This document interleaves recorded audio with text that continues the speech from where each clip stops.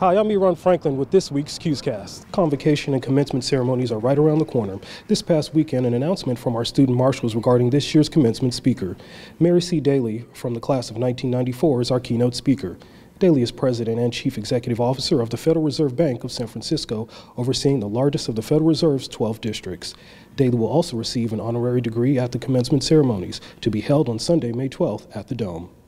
The Residence Hall Association is engaged in a community education project doing their part to make our campus welcoming for all, building a wall of blocks containing the kinds of words no one should be subject to, and then breaking down the wall during ceremonies held this past weekend. Their efforts featured speakers talking about the dangers of hurtful language. The mission of the RHA is to advocate for residents and foster student leadership.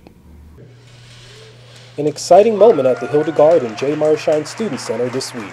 Renee and Lester Crown were on hand for the Schine Student Center renovation reveal.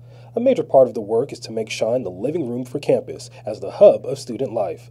The designs that were unveiled include enhanced accessibility, an upgraded dining experience, centralized spaces for student activities, opening and expanding the central atrium, and improvements to areas for student organizations.